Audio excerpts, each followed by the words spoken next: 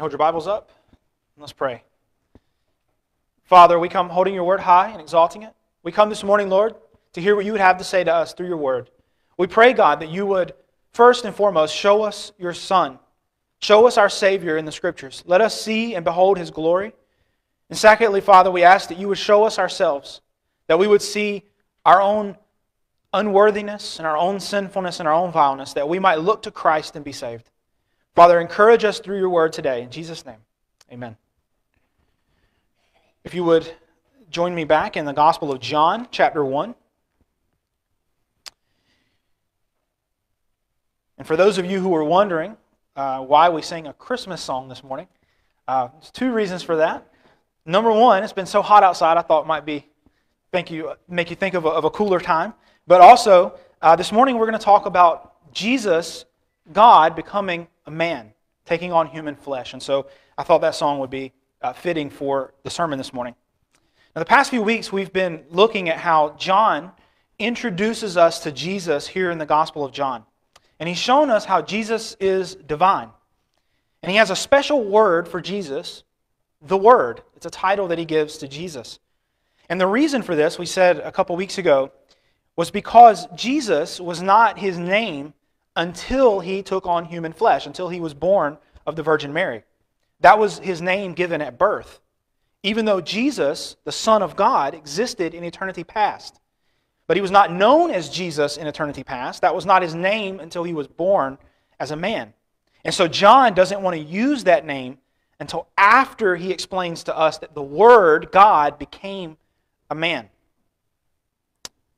And he tells us this very clearly in verse 1. In the beginning was the Word, the Word was with God, and the Word was God. And now this morning we're going to look at one verse. If you would stand with me while we read it, 1 John or John chapter 1 verse 14. And the word was made flesh and dwelt among us, and we beheld his glory, the glory as of the only begotten of the Father, full of grace and truth. You can be seated. This is actually the verse that gave me the title for our, uh, our, our, sermon series uh, that we're doing on John, Glory Revealed, because this is what John wants us to see, and he tells us about Jesus. He wants us to see the glory that the apostles saw. Though we're not going to see it with our physical eye on this side of, of heaven, we must see it with the eye of faith. And it's no less true for people who even saw Jesus face to face when he was on earth right? They saw him, but many of them didn't realize who he was, and so they didn't see his glory. But to behold the glory of Christ, even when they were standing in front of him on earth, they had to have the eye of faith. And so we have to have the eye of faith in order to see the glory of Christ. This morning, we're going to talk about a really deep subject, a very deep doctrine, but it's a very important doctrine. Now, we have to grasp this, yet we can never fully understand this. This is a, a deep truth. This is on par with the, the doctrine of the Trinity uh, and how it's a mystery on how all these things work out and how it looks, but yet the Bible teaches it clearly. The doctrine that we're going to look at is the doctrine of the incarnation. And that's a big fancy word that simply means that God takes on human flesh. In fact, you already know a lot about this doctrine. We have an entire holiday dedicated to it called Christmas, right? Where we celebrate the fact that God became a man. And so this morning is basically Christmas in July. But this one verse this morning that I want us to look at, we'll look at the rest of the passage in, in, in another week, but, but this morning I want us to see these, this great doctrine, the incarnation of Christ. And there's another thing that's attached to this doctrine that's another big word called the hypostatic union, all right? And that's going to be on the test. I'm just kidding. Um, that's just a fancy term that simply means the doctrine of Christ's two natures. So Jesus has a human nature and a divine nature. In other words, Jesus is fully God and fully man, both at the same time. And so we're going to look at this, this truth this morning, and then I'm going to give you five points at the end um, that, that matter for us and why it's important. But let me start by giving you a statement, and then this is going to be the statement that's going to carry us through the most of this sermon, and this is the heading in your bulletin there. Jesus is fully God and fully man, united without mixture, change, separation, or division in one person forever. And that is a mouthful, I know, but we're going to, we're going to break that down. So, the first part, Jesus is fully God and fully man. John says, The Word was made flesh and dwelt among us. Such a simple sentence, yet it gives us probably the most profound thought that a human being can ever contemplate. The divine, the Creator Himself, stepping down into time and taking on human flesh. Now, this isn't what like the uh, Greeks and the Romans used to teach about their gods. Uh, that's a claim that people have. They'll say that Christianity stole this idea of God becoming a man from the Greeks and the Romans and from the Egyptians because they have gods that have intercourse with women and then they have babies. And those babies are half God, half man. But that is not what the Bible teaches. First of all, the Bible teaches that God is not like us at all. God is not just some big, bigger, better version of us. God is spirit, and the Bible says that He fills heaven and earth. That there is no measurement to be had for His being. There is no form that we should behold Him. The God of the Bible, it says, dwells in unapproachable light. God in the Bible is so holy that to even gaze upon Him for a millisecond would disintegrate you. And yet, this God takes on human flesh Christ takes on human flesh. And that is not a result of some kind of sexual union between God and Mary.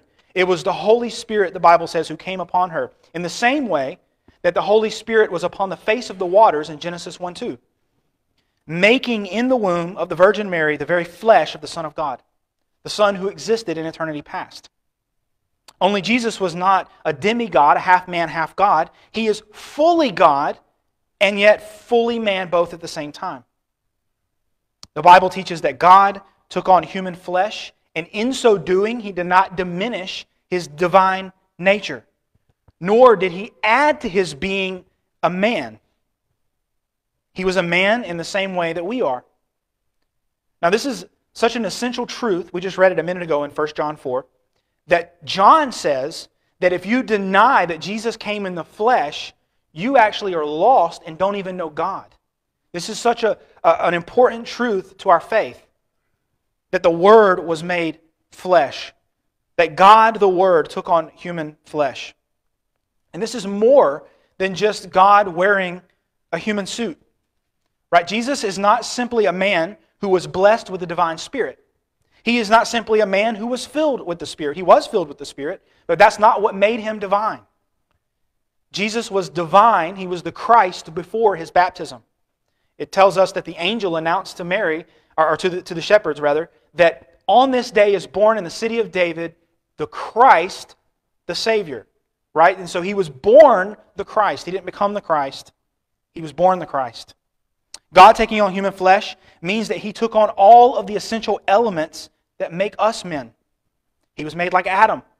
He grew up through the stages of infancy and boyhood into manhood, maturing and growing, the Bible says, in wisdom and stature and in favor with both God and man. This is all four of the developmental categories that we go through as we grow up, that we should raise our children up in. Wisdom is intellectual growth, stature is physical growth, favor with God is religious growth, and favor with man is social growth. And Jesus grew in all of those things. Jesus had all of the weaknesses and the inconveniences that belong to being man, except, of course, he had no sin nature.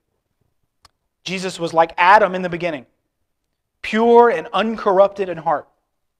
Jesus breathed air, walked on the earth, he ate food, he was hungry and thirsty. He was tired and weary, he slept and dreamed, he was hot, he was cold. He actually became a man. God took on human flesh. And he didn't just take on the parts of man that he liked, he took on the weakest part of man.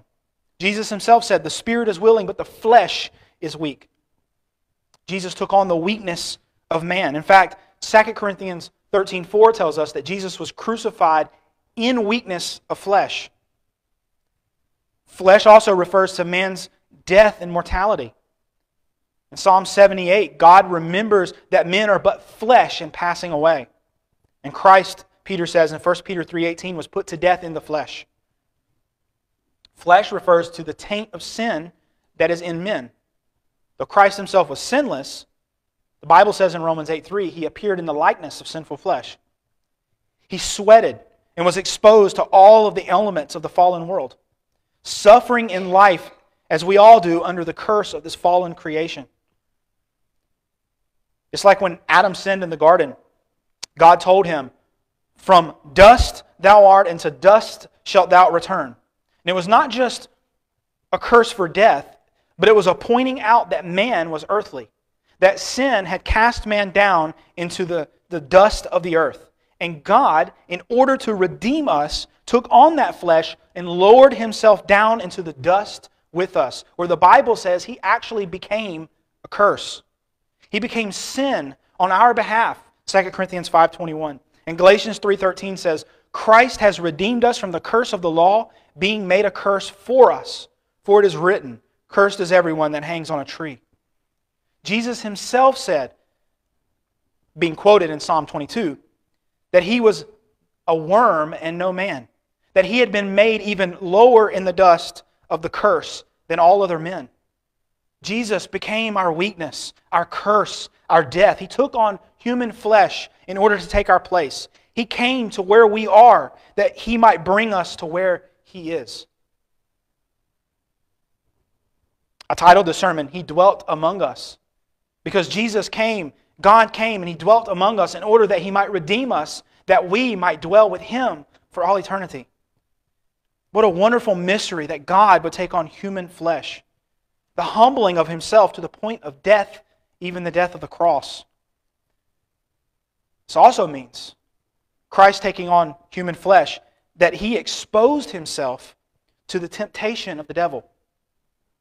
Now, we, we face temptation and we stand against it. But Christ's temptation was actually greater than we could imagine. Imagine yourself shut in a room for just one hour with the most vile person who ever lived.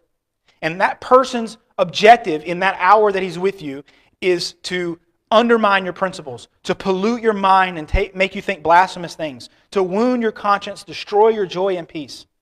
There'll be mental and, and, and physical suffering. There'd be frustration and anger in your heart. There would be torture for your soul for that one hour. And yet Christ endured that in the wilderness for 40 days and 40 nights, shut up with the devil. Never was the devil's attacks more fierce than when he had a chance to tempt the Lord of glory. Never was his fiery arrows more pointed and accurate and well aimed. Never had he a chance like that to tempt the Lord of glory before. You know that he gave it everything he had. He brought his best tricks and deceptions, the most enticing of sins, and yet Jesus, by taking on human flesh, exposed himself to that temptation in order that he might overcome the devil and be the captain of our salvation. Christ withstood the temptation to the end. It was the greatest of strengths and power of the will in human history. Jesus endured temptation, and he endured it all the way to the end. I, I shared this quote a few weeks ago in, in Sunday school, and uh, I'm going to read it. It's, it's a little bit lengthy, it's, it's a paragraph, it's, it's about five sentences. But C.S. Lewis explains the temptation of Jesus in a way that I think is important for us to understand. This is what he says No man knows how bad he is until he has tried very hard to be good. A silly idea is current that good people don't know what temptation means. This is an obvious lie. Only those who try to resist temptation know how strong it is. After all, you find out the strength of the German army by fighting against it, not by giving in. You find out the strength of the wind by trying to walk against it, not by lying down. A man who gives in to temptation after five minutes simply does not know what it would be like an hour later. That is why bad people, in one sense, know very little about badness. They have lived a sheltered life by always giving in. We never find out the strength of the evil impulse inside of us until we try to fight it. And Christ, because he was the only man who never yielded to temptation, is the only man who knows the fullness of what temptation means. So, what C.S. Lewis is saying is essentially that because None of us have ever withstood all of temptation all the way to the end. We lay down and we don't know the strength of the wind when it pushes against us. We don't know what it's like to fight that temptation all the way to the end every single time, and yet Christ does. Jesus endured the temptation all the way to the end. And so he actually understands how difficult it is, how hard resisting the devil's lies are. Now, I do want to clarify there is a difference between our temptation and what Jesus faced. So we have three enemies in the world. Well, the world is one the devil and the flesh. And the flesh there refers not to our weakness, but to our fallen nature. You see, we're oftentimes tempted and led into sin without the devil even having to lift a finger, right? Our, our own evil hearts lead us away into sin. Jesus' temptation, though, was all external. There was no sin in the heart of Jesus to lead him astray. There was no uh, uh, there was no desire, no affinity for sin. There was no possibility of temptation from within in Jesus because his nature was not corrupt. Yet, the Bible says that Jesus was tempted in all points as we are, yet without sin. In other words, Jesus was tempted in all of the same categories as we are, and yet he never sinned. He was tempted by the same temptations we face. Now, it doesn't matter if we're tempted by the devil, the flesh, or the world, all of those temptations still fall under the same three categories there's the lust of the eyes, the lust of the flesh, and the pride of life. All sin falls in those three categories. And it doesn't matter if we're tempted by the devil, the flesh, or the world, our temptation for those sins are still there. And so Jesus, though he was never tempted internally by his own evil nature, because he had no evil nature, was still tempted by the devil and the world in those three categories. And so the verse is true. The reason I bring that up is because that verse tells us that because Jesus was able to endure the same temptations as us, he's able to sympathize with our weaknesses and give us grace and help in our time of need. And we'll talk more about that in a minute. But this is also important because this is what makes Jesus our great and wonderful high priest. That he understands and he gets us. But in Jesus' temptation, the devil didn't have a foothold in the heart of Christ because he had no internal sin nature. He was not twisted in his desires. You see, Jesus was born of a virgin. It was Jesus who had no earthly father. If Joseph had been Jesus' biological father, he would have had a sin nature like the rest of us. But Jesus was born without a human father and was therefore had no sin nature. And this is important because if Jesus had sinned, or if Jesus had a sin nature, then his death on the cross could not pay for our sin because he would only be paying for his own sin. So, why does it matter that Jesus became a man? Why make a big deal about this? To the point that even John says, if you deny this, then you don't know God. Well, because if Jesus didn't become a man, he couldn't have been tempted. If Jesus didn't have a human nature, then he couldn't have faced temptation because James says that God is not tempted by sin. This means Jesus could not have been our high priest. He could not be our example. Jesus is the example that we're to follow. He's the standard. We're in the process of sanctification to become more like Christ. If Jesus had not become a man, he could not have died for our sin. Which leads us to the second part of the, the, the phrase I gave you at the beginning. Jesus is fully God and fully man, united without mixture, change, separation, or division in one person forever. John says, We beheld the glory, his glory, the glory of the only begotten of the Father. Now, this is the difficult part to grasp. God, there are certain attributes that are only God's, certain characteristics that belong only to God. And then there are certain characteristics that are only for men. And yet the Bible teaches that Jesus possesses both at the same time. And this is a very difficult thing to wrap our minds around. Jesus has two natures the divine nature and the human nature. They both exist in Christ at the same time. Yet there will never be a time when these two natures exist apart from one another. When Jesus stepped down into time, he took on himself a human nature and he will always have that human nature. Those two natures exist at the same time in the same person. One day, when you see Jesus face to face, you will not be able to distinguish between the divine nature and the human nature because it's one person. Yet he has two natures. Jesus has a human body, he has a human mind and emotions. When Christ became a man, there was, in some sense, the hiding of his glory. It's like when your eyes, the Bible says, is the glory of your soul, right? When you look into the eyes of this window into your soul.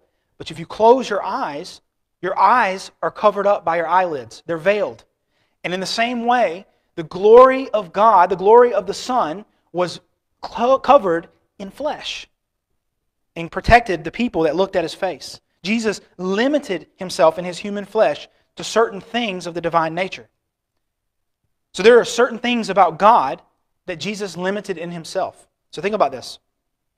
Jesus made himself frail and weak like our human flesh. He hungered and thirsted and was tired, and yet God is in need of nothing. God is all powerful. Jesus, the Bible says, limited his knowledge to some degree to the point that Luke even says that he grew in wisdom. And yet God is all knowing. But we should never think that Jesus ceased to be God. Right? A mystery is not a contradiction.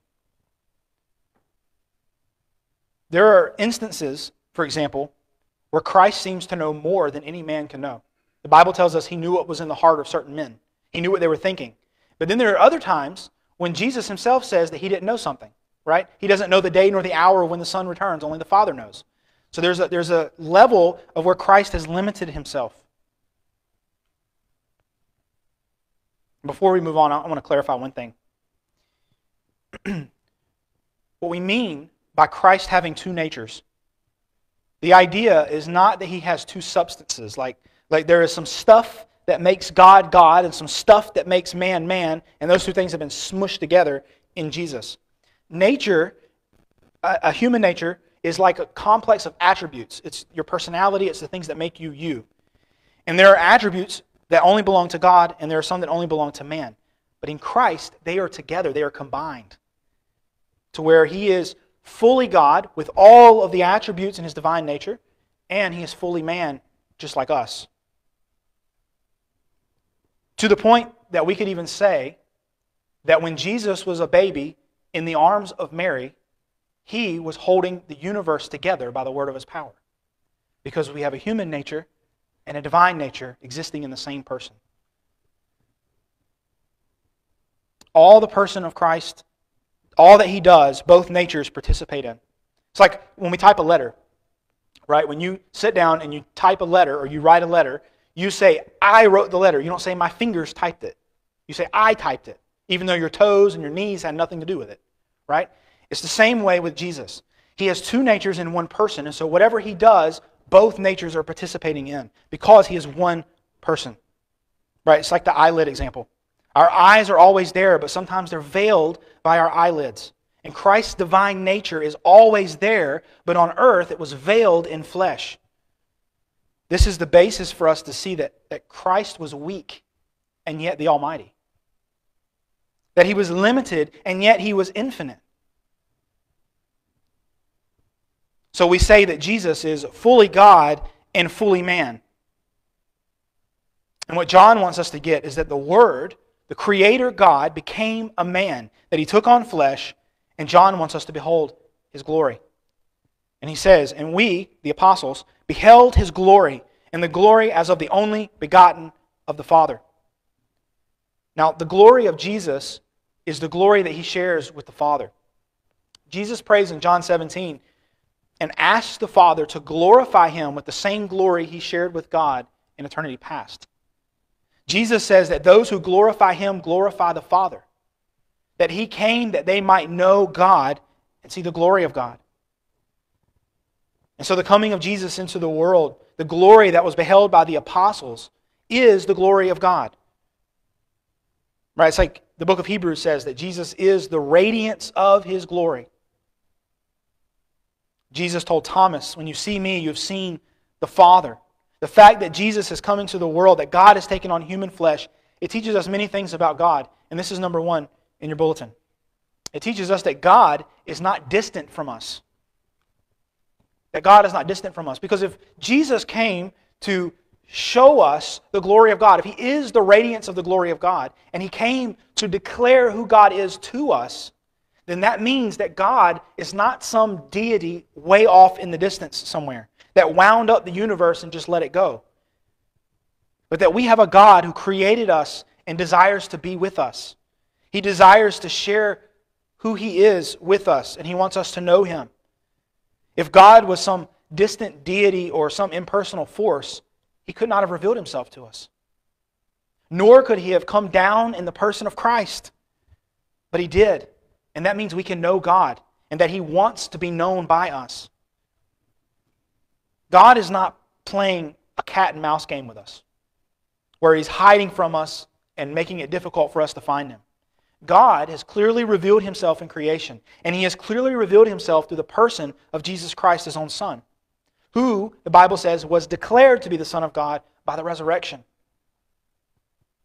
If you want to know God, and you want to know who God is, then look at Jesus. He has come and declared to us who God is and showed us the glory of God. And He is not far from us. But He has created us, He has created you, and He has put you in this time to live, in this place that you live, in order that you might seek Him. So look unto Jesus and seek God. Come to the Son, and you will find the Father. Now, John here also claims that Jesus is the only begotten Son. Now, we are sons, right? We just saw this in verse 12 last week. As many as received him, to them gave he power to become what? The sons of God. But there's a distinction between our sonship and the sonship of Jesus. This is why John 3:16 is important when it says that for God so loved the world that he gave his only begotten son. He's not just God's only son because I'm a son of God. He's the only begotten son. And so John here says, "We have seen the glory of the only begotten of the Father." Christ, the Son of God, means that he is of the same nature as God. What's wonderful about this is that God gave his only begotten Son, that whoever believes in him will not perish but have eternal life.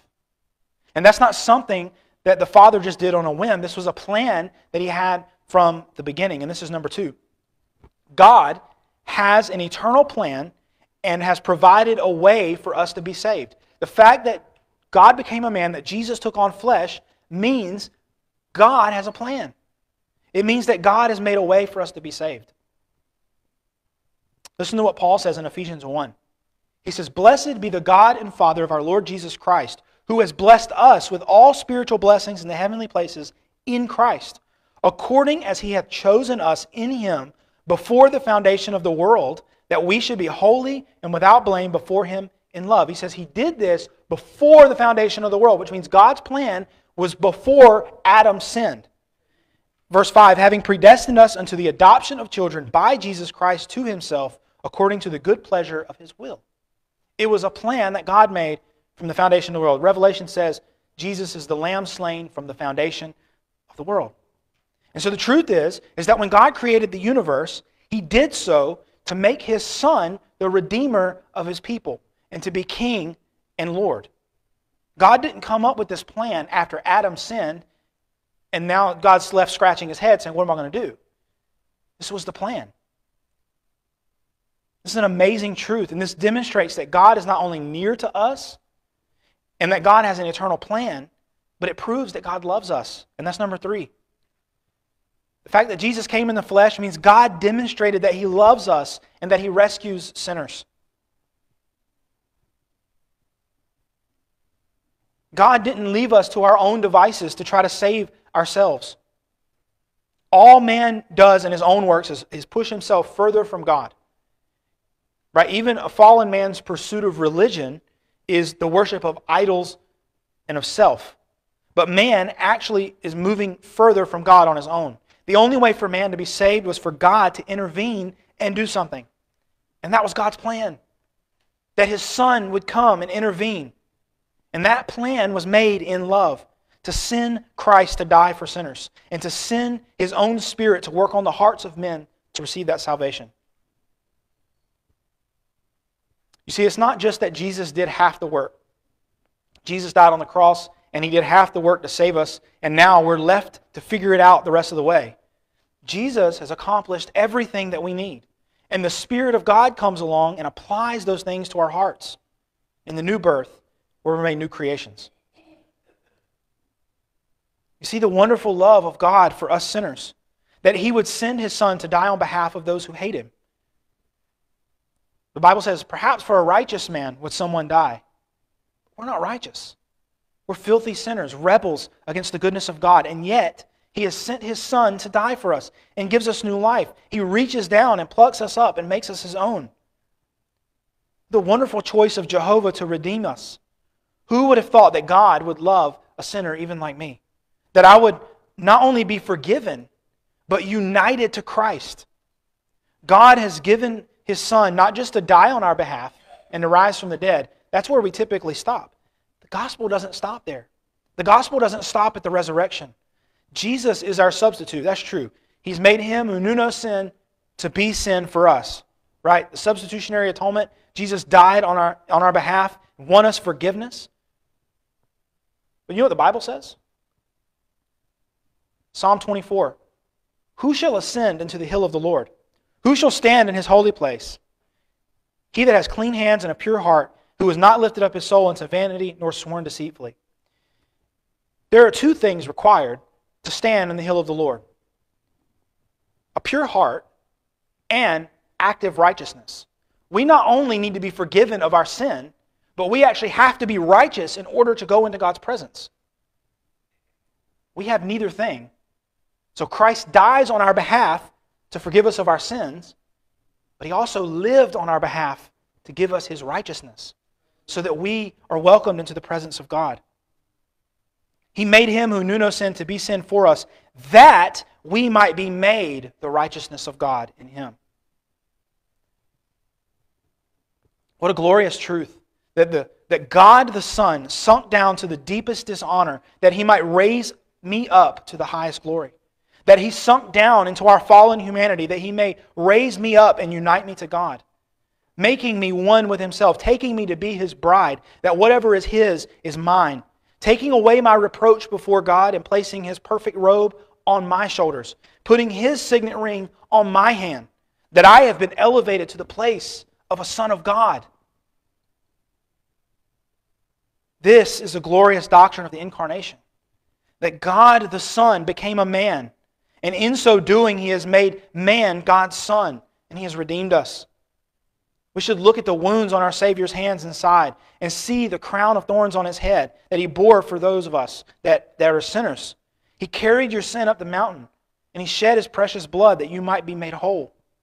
He carried the curse of death and sin that you might be united to his righteousness and be free, that you might be given eternal life in place of eternal death.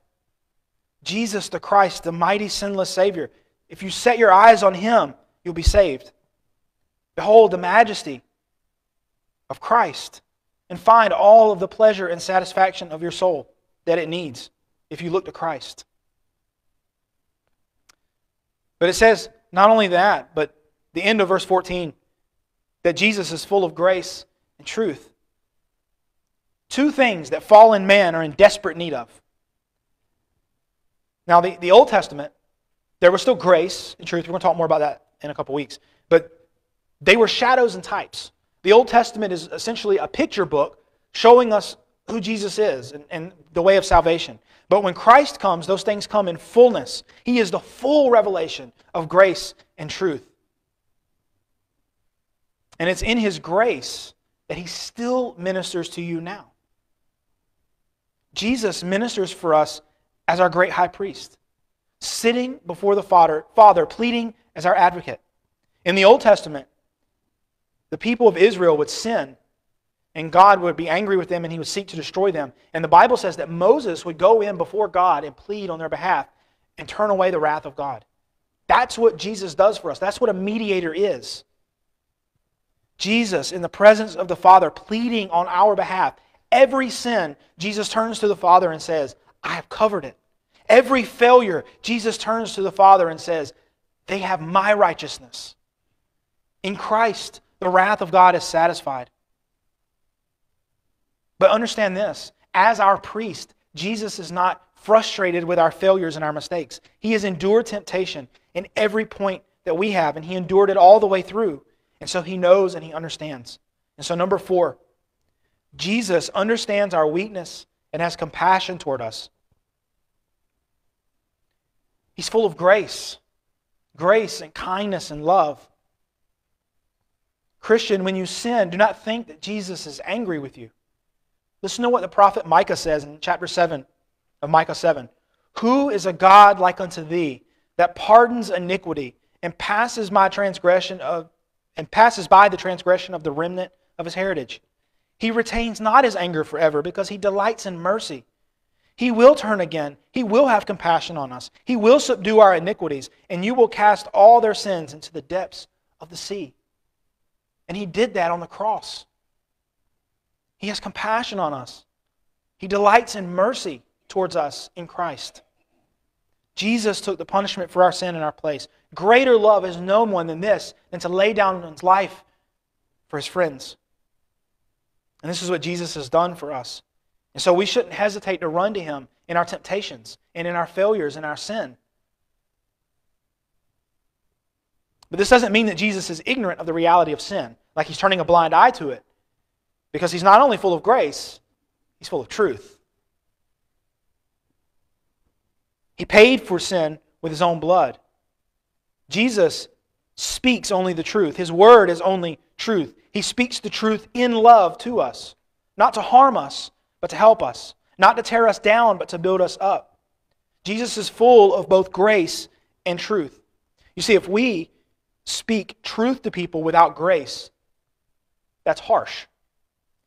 And if we're gracious to people, but we do not care for the truth, then we're not helping them. Jesus is full of both grace and truth. Compassion toward us and truth to help us. A loving rebuke is better than flattery that lies.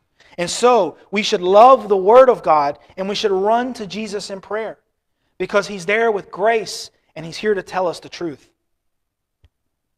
More than that, Jesus says that He is the truth not only because He does not lie and because He always tells us the things we need to know, but He's also the truth because He's the only way to the Father.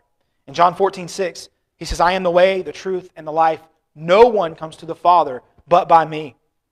And so Jesus came into the world not only to reveal the Father to us, but to make a way to the Father. And so, number five, Jesus reveals the truth about God to us. He tells us the truth about God. He makes a way for us in that truth to God. So come to the Son so you can come to the Father. And Jesus said, if you reject the Son, then you reject the Father because he has told you who the Father is. So we need to believe that Jesus came in the flesh, that he is fully God and fully man at the same time, without mixture or division in the same person forever. We can know that God is near to us, that he loves us, that he has a plan to save us because he sent Jesus. We see that Jesus is not only our Redeemer, but he is our advocate, pleading on our behalf. He is full of grace and truth. And the only way to know God and to have eternal life is to trust Him. These truths should cause you to love God more, to want to worship Him for His great love that He's shown to you, to praise His Son for His salvation. It should move us to holiness, to hate sin that crucified the one we love, to fight the sin that Jesus endured. These truths should also cause us to look to Jesus for hope and peace and righteousness because we can't save ourselves. Right? You will not find peace or hope in your own soul only through faith in Christ, being united to Him in salvation. Only through faith in His atoning work on the cross can we have righteousness. Only through the shed blood of Jesus. Let's pray. Father, we praise you, Lord, for you are the lovers of our souls. Jesus, you are the one who loves us and saves us to the uttermost. I pray, Father, that you would melt our hearts as we think on your, your birth and your agony and your suffering and your resurrection and your intercession for us. Let us be bold to defy the enemy, to defeat temptation, to renounce the world, to be valiant in the truth. Deepen in us a sense of, of a holy relationship that we have with you.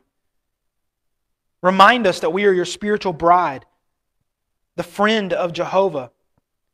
As we think of your glory, show us our vileness. As we see your majesty, show us our lowliness. As we see your beauty, show us our deformity.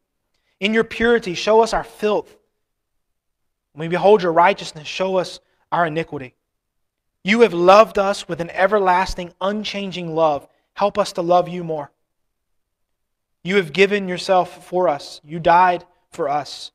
Help us to live for you. That every thought of our mind, every desire of our heart would be for you. Help us, Lord, to not dally with the world and its attractions, but walk by your side, to listen to your voice, to be clothed in your grace, and to be adorned in your righteousness. And we ask this in Jesus' name. Amen.